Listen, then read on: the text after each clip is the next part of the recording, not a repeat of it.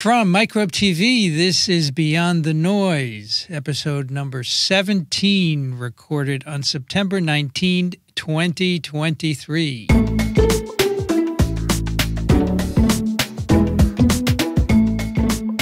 I'm Vincent Racaniello, and joining me is your host, Dr. Paul Offit. Hi, Vincent. This is the video version of Paul's column on Substack called Beyond the Noise, cutting to the chase on important health topics. Today, I'd like to discuss Paul's recent column Does Everyone Need a Yearly COVID Booster? Now, Paul, the CDC is recommending a booster dose of COVID vaccine for everyone over six months of age. So first, start by telling us what is this booster that they want us to have? Okay, so so this year's vaccine, and they often don't refer to it as a booster. That's They'll right. call it That's right. 2023, 2024 vaccine for this this year's campaign. They'll use the term campaign occasionally. Um, it is it is a monovalent vaccine, meaning it has one strain, and it's the XBB 1.5 strain, which is similar to a number of strains that are currently circulating. So that's what it is. And and on September the 12th, the Advisory Committee for Immunization Practice sat down to make a decision about what they wanted to do with this vaccine. Now, at the time, there were a number of countries, the United Kingdom, Germany, three of the Scandinavian countries, Australia, and, and the World Health Organization, that basically offered or argued for a targeted recommendation. Because the thinking by these countries was we need to prevent severe disease. Severe disease defined as having to go to the hospital or intensive care unit. So let's target those groups who are most likely to suffer severe disease. And so those groups are, are typically those who are elderly, which has been variously defined, those who have multiple health problems like obesity, diabetes, chronic lung, heart, kidney disease, people who are immune compromised, typically because they're uh, receiving medicines that suppress the immune system, and people who are pregnant. That's the decision all those countries made. Now, when the ACIP or Advisory Committee for Immunization Practices sat down on September 12th for a six hour meeting from 10 in the morning to 4 in the afternoon, they never considered that. That was not an option. It wasn't presented. It wasn't discussed. The only option was to vaccinate everybody over six months of age, um, period. Now, they offered several reasons for that. Um, three, basically.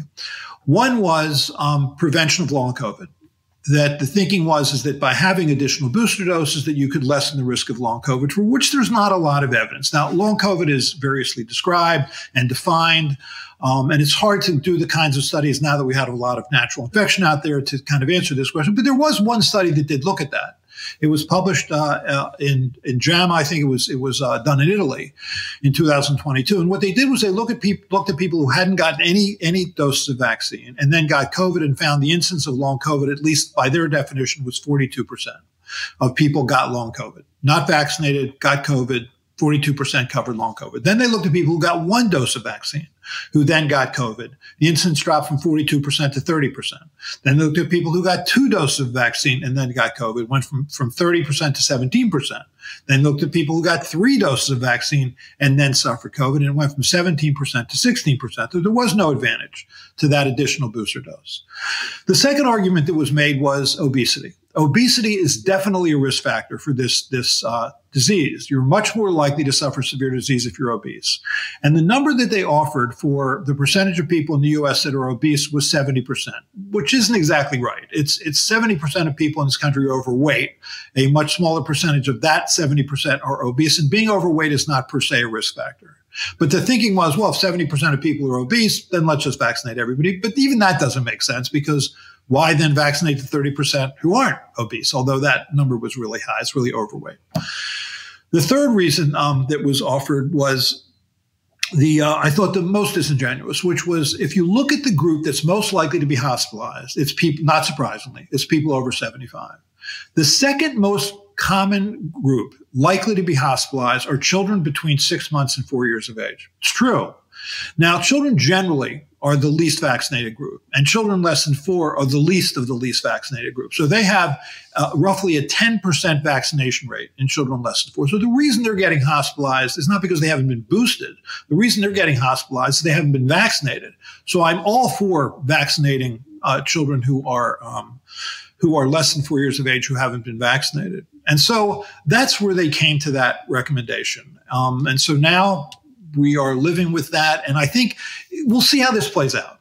But but what, what worries me is I think it's a lost opportunity to really educate the public about who really is at greatest risk. By saying everybody's at risk, you're implying that everybody's at equal risk, and I just think that uh, does a disservice in terms of trying to communicate who's most likely to benefit. So some people have said that it's better to have a unified message rather than fragmented messages. What do you think about that? Right. So, so there are people who've been communicating who said that to, to have a nuanced message is to have a garbled message. But I, I don't think, I think it's a little paternalistic. I think you can, you can explain to the American public why you're doing things in a certain way. We certainly do that for other vaccines. I mean, when the monoclonal antibody directed against respiratory syncytial virus came out, for for children, and certainly uh, young children can suffer respiratory syncytial virus. It's the most common reason to be admitted to the hospital for a young child is respiratory syncytial virus. Um, the recommendation was for everybody uh, up to eight months of age to get a single dose of this particular monoclonal antibody called nirsevimab for the for essentially the first season. Well, for the second season, it's really, if you're going to be admitted when you're between eight and 19 months of age, um, it's because you have a high risk. That's why you're admitted. And so we have four high risk groups for that second season. That's a nuanced recommendation, but it's the appropriate recommendation. I just think you have to be able to explain things. There are a number of vaccines for which you have groups that are targeted because they're at highest risk. And I think that's true here too. So I don't think that's the reason. I think there's another reason for this. And it may be that it's just a, we have a, at some level, dysfunctional healthcare system. And that the thinking was that by recommending it for everybody, therefore everybody will be covered by private insurers, eh, except for those obviously who are uninsured or underinsured for which you have this bridging access program. Because certainly there are other people who reasonably and should get this vaccine. So for example, people who work in nursing homes, people who are, are, living in a home with someone who's immune compromised can all reasonably choose and importantly choose to get this vaccine. And maybe that's what they were scared of. But explain that. If that's the reason, explain that. Because otherwise I think you you don't have trust in the American public. And I think you can trust them to understand what's going on. I, I think what's telling is that, as you mentioned earlier, other countries are not doing this. They're having targeted vaccination. And I don't see that we know anything different here in the U.S. than they do. Right, and so one one group has postulated, well, maybe the reason for that is that those are those have uh, national health systems, and mm-hmm. so it's it, mm-hmm. uh, they have a better health. But you know, Canada recently also made a recommendation similar to that, so it's not just that. I, I don't get it. I really don't. I'm I'm a little disappointed in that. I think you know certainly privately people have told me no. I think I think it's true. We probably should just really tar- target high risk groups, but nonetheless, um, sometimes when they publicly speak, they. Mm. They, they follow what the CDC is saying. And I get that. I mean, you don't want to appear to be divided, but my feeling on this is just say what you think is true. I, I it'll be, we'll see what happens this year. Let's see what happens. Last year, we made the same recommendation everybody over six months of age get a vaccine. And one of five Americans who were recommended to get it, meaning everybody over six months of age, got it.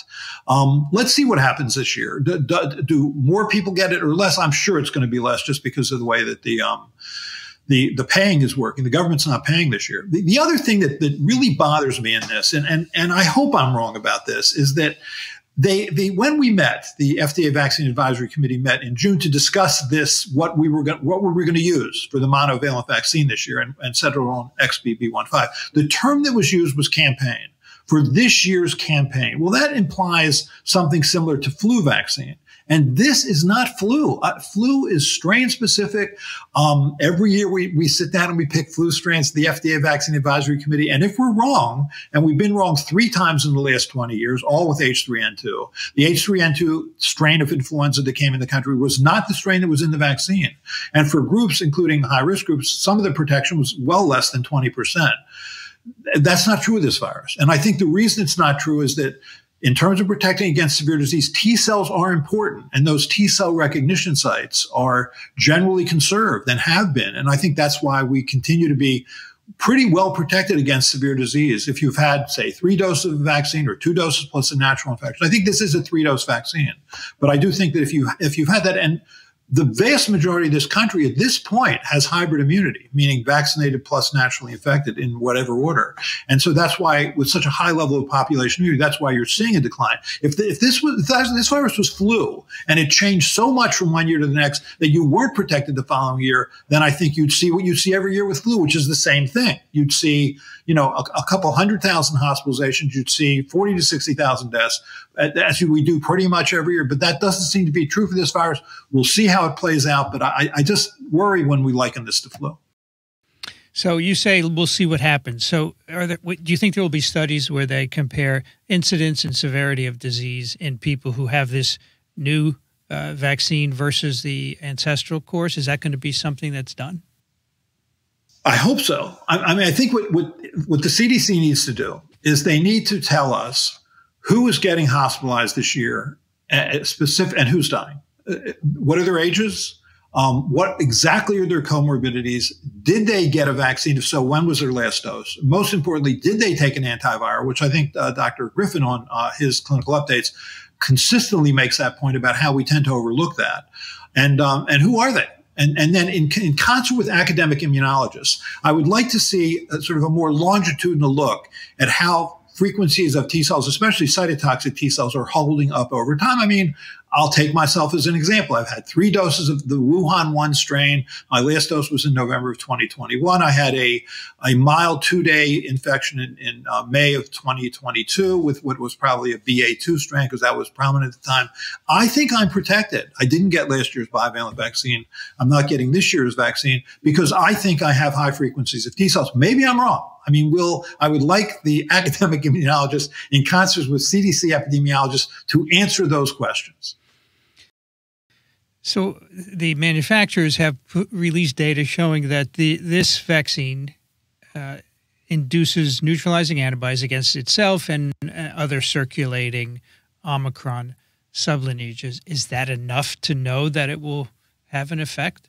Do we know what titers will give you an effect? I, I think it's reassuring. I think what that says okay. is that if you if you choose to get a vaccine, I think if I got the vaccine this year, I think what that would do is that would offer me several months of protection against mild illness, and then it wouldn't after three to six months, which is what happened to me with the Wuhan one strain. Six months after my last dose, I had a two day mild illness. As no doubt, my neutralizing antibodies faded. I think that also would be true here too.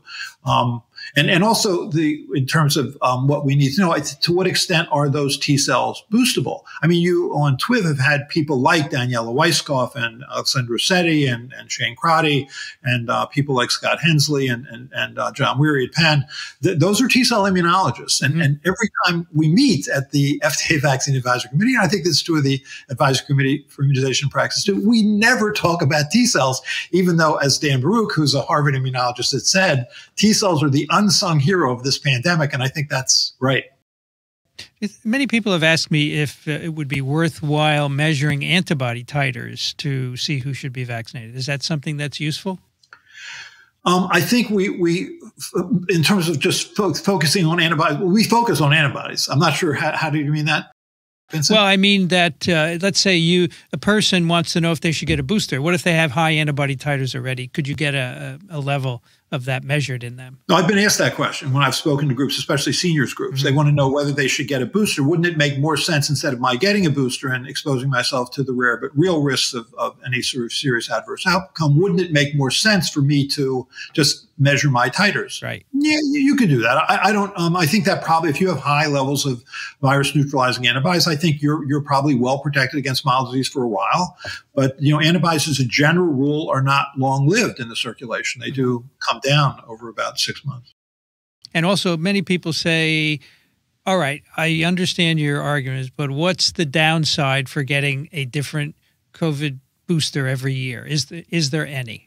Right. And actually that's that's one thing that kind of bothers me a lot is that when people say, well, there's no downside. First of all, any any time you take any medicine or any biological, there's a downside. If it has an upside, it'll have a downside. The downside may be rare. It may be um, Um, very rare, but nonetheless, there's always a downside. And we're going to find out about this, this vaccine over time. It is a novel strategy. We certainly were surprised by myocarditis and pericarditis. And we'll see whether or not over time, you know, when we're five years into this, 10 years into this, 15 years into this, whether there's, there's any evidence of residual myocardial disease. Because the reason you have myocarditis is you're making an immune response to your own heart muscle. I mean, it appears to be generally transient and short lived, but there's invariably a spectrum of, of disease. And, and we'll find out about that over time. And, and I think it's perfectly willing to, reasonable to take those risks if the benefits are clear. But the, when the benefits aren't clear, mm-hmm. then it's not so reasonable to take risk, even a rare risk.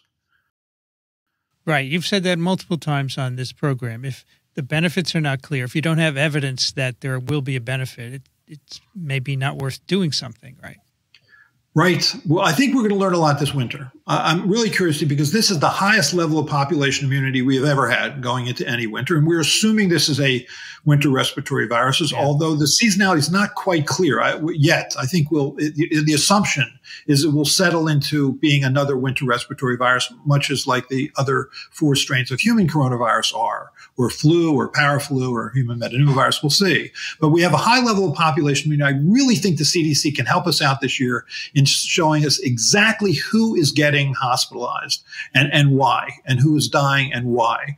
And, um, and, and to answer the question, um, you know, who do we most need to focus on? I think one of the points that was made at the ACIP meeting, it's true, is no one's risk free. I mean, if you're a healthy young mm-hmm. person, you still have some risk of being hospitalized or even dying. Sure, sure. I mean, that, that's true. So the question is, does it make sense to focus on the high risk groups? I, I think it does because it, I think, according to the CDC data up to this point, the vast majority of those who are hospitalized or die are in those high risk groups. And I think the messaging should be to those groups because um, I think that would have the best impact. But we'll see. So these are, of course, recommendations by the CDC. They are not mandates, so people can do as they choose. Correct? That's right. The, federal government doesn't mandate vaccines. That occurs at the state or local level. It'll be interesting to see what hospitals do. Um, mm-hmm. Our hospital is offering the vaccine, but is certainly not mandating it. Um, right. They're just, they're offering it because they assume most of the people who are in the hospital setting have probably hybrid immunity at this point. We've all been vaccinated, and many of us, of us naturally infected. I think a lot of people will decide on their own, and so you're you disagree with the CDC broad recommendation. So, do, do you have your own that you would say these are the people who should get this vaccine. I know you, I know you said it at the top, but let's close by repeating. Sure. So, so what I would say is that I think anybody over 75 any and anybody has comorbidities, especially diabetes, heart disease, lung disease, obesity. Um, I think anyone who is taking medicines that that suppress their immune system, and I think pregnant people. I, I, also think really encourage Paxlovid for all those groups. So anybody in that group who has respiratory symptoms should test themselves and treat early. But also people who live in, in or work in nursing homes, people who are in the home of someone who's immune compromised, and frankly anybody who who just feels more comfortable getting this certainly should get it. I'm not saying that that, that you should discourage people from getting it if they really want to get it. I just think people need to understand who is at greatest risk. I think that's us doing our best educating to say here who is are those who who are really at risk. And I think when we said, for example, as was said at that ACIP meeting, Advisory Committee for Immunization Practices meeting, that that six month old to four year old was getting hospitalized, and most of those children are didn't have risk conditions. That's because they were unvaccinated. I certainly think people who are, haven't been vaccinated should be vaccinated. That also should be encouraged. No matter what age. No matter what age, because this virus is going to be with us for decades probably. And if you're not, if you're at risk, if you were, if you've never been naturally infected or vaccinated, you're at risk. I mean, uh, my wife and I are now proud grandparents of what is now a seven month old. We're certainly encouraging our son and daughter in law to get that little baby vaccinated because she has never been exposed to this virus. And if she's going to be exposed, I'd rather that she had um, adaptive immunity induced by a vaccine before that exposure. We'll put a link to Paul's original column in the show notes. That's Beyond the Noise with Dr. Paul Offit. Thank you, Paul. Thank you, Vincent.